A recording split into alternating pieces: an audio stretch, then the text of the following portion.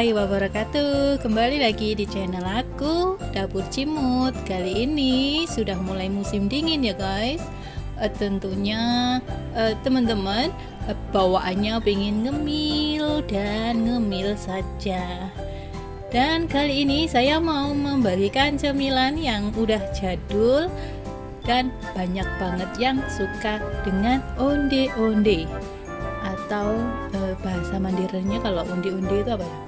Cuma, cemacu, cemacu atau e, wijen, bola-bola wijen gitu ya artinya.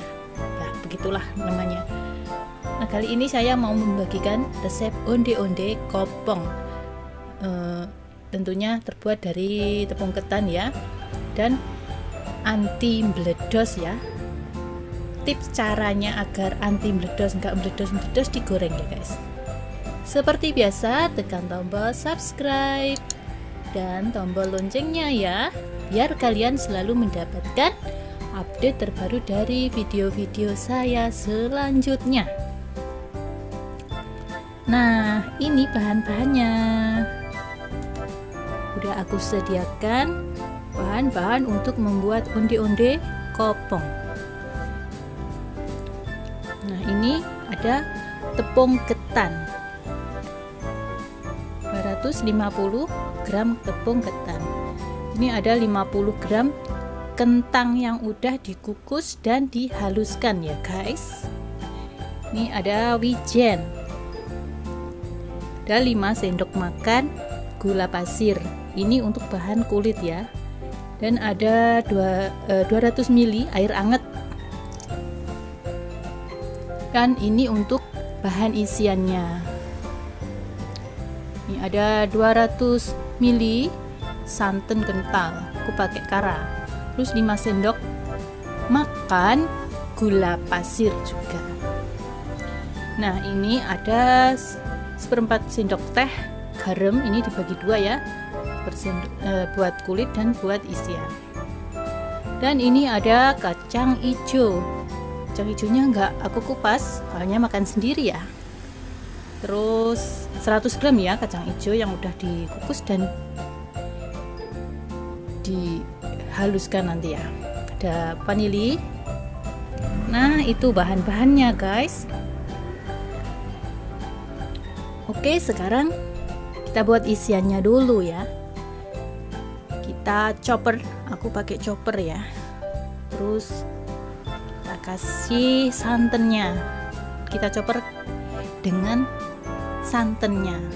Terus kita giling boleh juga pakai blender ya kalau kalian nggak punya kayak gini. Abaikan jempolku yang budel. Jangan dilihat ya guys. Nah chopper sampai lembut. Seperti ini selanjutnya. Kita masak kacang hijau yang udah kita blender tadi. Kita masak. Terus kita masukkan pandan daun pandan ya. Maaf tadi nggak ke, ke sebut. Terus vanili cair sama gula pasir. Dan oke nanti resepnya lihat selengkapnya di deskripsi box ya guys nah sampai kayak begini ya. Nah uh, sampai bisa dipulung bisa dibulet-buletin gitu ya.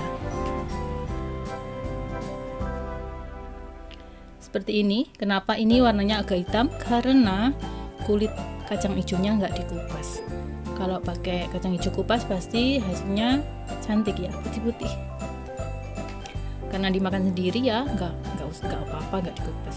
Selanjutnya kita taruh tepung di suatu wadah terus kentang yang udah dikukus dan dihaluskan gula pasir garam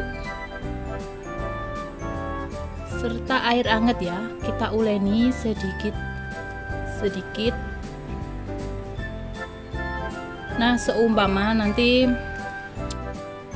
seumpama nanti udah bisa dibentuk udah kalis gitu ya kalau airnya masih sisa jangan di, dituang lagi ya.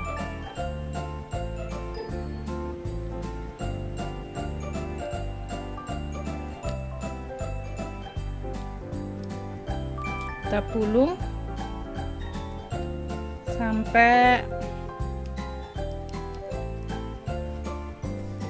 bisa dibentuk seperti adonan nanti ya.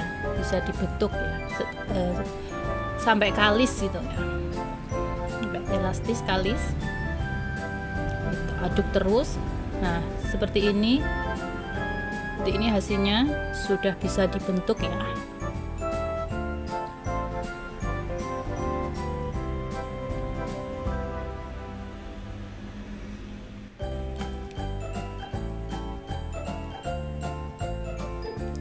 Nah, sekarang kalau udah elastis kita bentuk seperti ini. Lalu kita masukkan isiannya.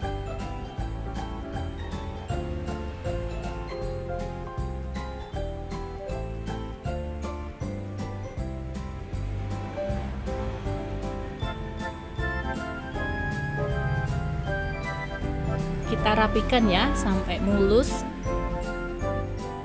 Kita bunder-bunderin. Kita rapikan sampai uh, bentuknya mulus ya.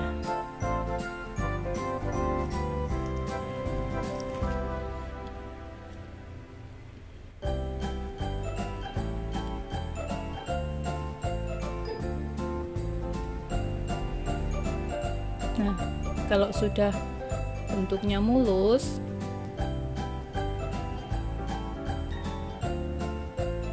seperti ini lalu kita celupkan ke air. Kenapa dicelupkan ke air? Nah supaya ini wijennya nempel ya nempel di adonan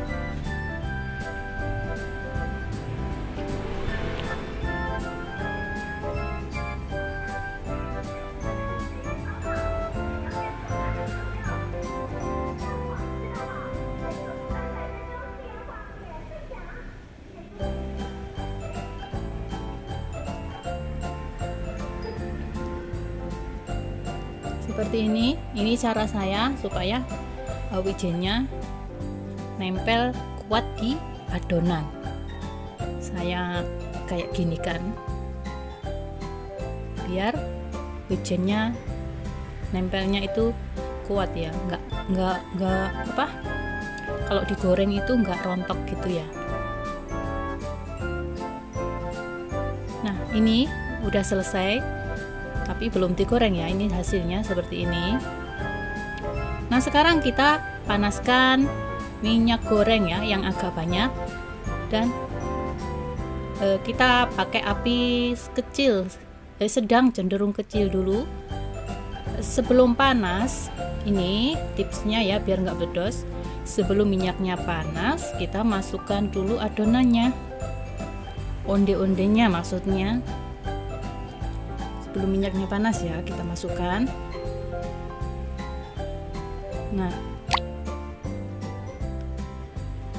Dan nanti kalau minyaknya udah mulai panas kita kecilkan apinya biar enggak terlalu panas minyaknya. Dan jangan lupa kita guling-gulingkan kayak gini ya biar nanti enggak gosong. Sampai onde-ondenya mengapung tandanya kalau sudah mateng. Berarti uh, onde-ondenya ngapung. Kalau onde-ondenya ngapung berarti onde-ondenya udah mateng gitu.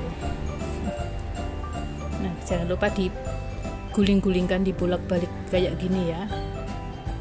Jangan lupa apinya jangan terlalu gede karena bisa meledos biar jadi tipsnya biar nggak bledos. Kita kita kayak ma, apa itu masak uh, gabus ya. Apa namanya telur gabus ya pakai dingin dulu. Nanti dia perlahan-lahan minyaknya panas terus apinya kalau minyaknya panas sudah panas apinya dikecilin ya. Jadi uh, apa suhunya itu diatur jangan terlalu panas. Karena kalau terlalu panas onde-ondenya bisa meledos. Nah itu tipsnya. Nah ini udah mengapung onde-ondenya udah mengapung berarti udah matang lalu kita angkat. Ini hasilnya cantik kan? Nggak meledos. Nah seperti ini udah siap dibuat cemilan musim dingin atau musim hujan ya? Ditemani kopi. Hmm, tentunya eh, nikmat banget ya. Nah untuk kali ini cukup sekian dulu ya. Bunda guys teman-teman video dari saya untuk cara membuat onde-onde kopong anti meledos dan anti penyok. Ini nggak banyak loh guys. Dan rasanya cuh mantep. Enak banget. Pokoknya kalian harus mencobanya. Jamin berhasil nggak gagal. Oke okay? assalamualaikum warahmatullahi wabarakatuh. Terima kasih udah pantengin channel saya